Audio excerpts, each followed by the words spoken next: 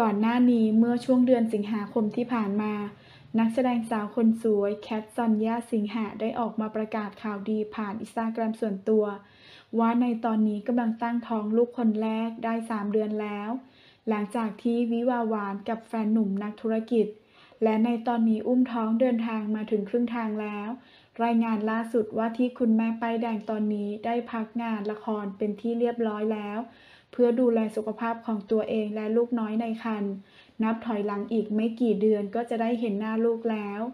หลังคลอดเมื่อไหร่รับรองว่าคุณแม่แคทมีงานละครให้ได้รับชมแน่นอนจ้า